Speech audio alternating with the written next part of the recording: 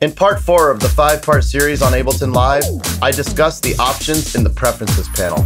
There are some very important settings you should check before beginning your journey with Ableton Live. Stay tuned. Hello, everyone, and welcome to Distinct Mastering. My name is Freddie. I'm a mastering engineer, producer, DJ, and president of Sleeping Giant Music. For over two decades, I've helped artists grow their careers, and now I'm here to help you with your music production skills. If you'd like a free stereo mastered sample from me, be sure to check the link below in my description. Now let's chat about the Ableton Live's Preferences panel. Okay, I've got Ableton open here, and I'm going to give you a brief overview of the Preferences panel. So let's hop right into the Preferences over here, and let's talk about each tab briefly. The first one is the look and feel. Here you can change the language, change how Ableton looks and feels, so I encourage you to take a look at this yourself and customize it to your liking. Some of the more important ones here, the zoom display where you can zoom in so you can make things bigger or smaller. You can change the track and clip colors here if you'd like. And you can customize Ableton from your themes. So here you have like the mid-light, mid-dark, uh, dark, and you have the old Live 9 look. Um, I prefer to go light and I change my brightness to 80%.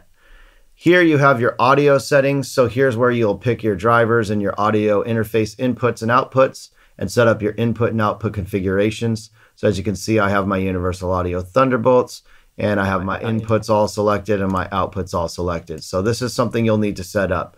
Then you have your sample rate and your latency. So if you're experiencing some latency while trying to record with say a microphone or vocalist or instrumentalist, um, you can lower the, the latency here. Now, with obviously with Universal Audio and console, there's zero latency recording, so that's another thing that you can have running in the background. But that's a whole nother topic. And if you're interested in a video on that, leave a comment down below. So here you can uh, you can see how much latency you have, and you also get a test tone if you want to do a test tone to see if your interface is actually working. Change the volume, change the frequency, and you can see how your usage simulator is actually working with your CPU.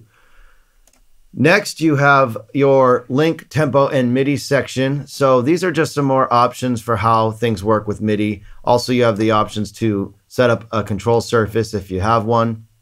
And then you can set up the MIDI ports here for your tracks, your sync, remote. And if this is a little confusing or you're not using any MIDI, then this screen is not for you. But you can also refer to the Ableton reference manual for a more detailed look at this. But really, what you want to do is just select your control surface and there's not much to set up here. The next one is going to be your file and folder preferences where you can create analysis files. You can turn that on or off. You have your sample editor if you want to set one up. I don't have one selected. This shows you where your temporary folder is for temporary live recordings. You have your Max for Live application, and then it just gives you some cache space and things like that. It shows you where your cache folder is and how much you can limit there. Below that is going to be your library. And this right here is going, the most important thing here is the location of user library.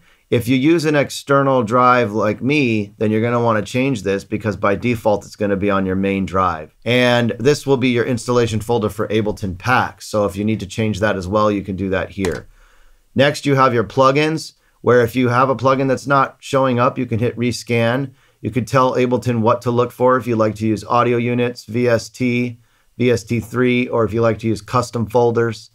And then here's a great section to take a look at is your plugin windows.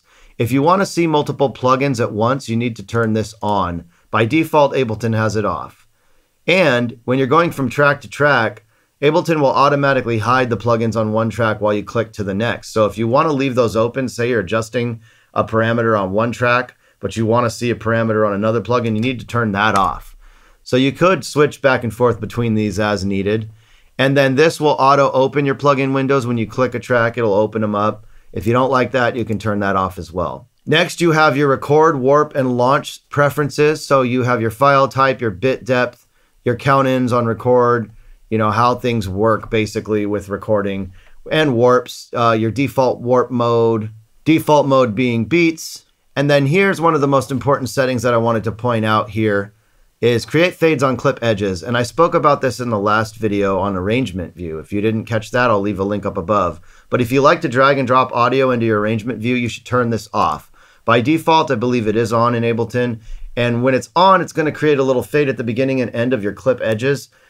which is ideal if you're trying to finalize your projects. But when you're importing or dragging and dropping, say, kick drums or you know samples of any sort, you're going to be chopping off those transients with that little fade. So I recommend you turn that off. Down below, if you use Ableton Launch stuff, which I don't, the, the settings are here. And then you have your tap tempo settings and MIDI note drawing.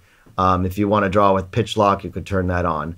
And last but not least, you have your licenses section where you can check your, you know, authorize your Ableton um, and just check various parameters related to Ableton and maintenance itself. So that's a brief overview of the Ableton preferences. I just wanted to hit some very important ones there for you to check out while you're getting started with Ableton. And that's a detailed look at the Ableton Live Preferences panel.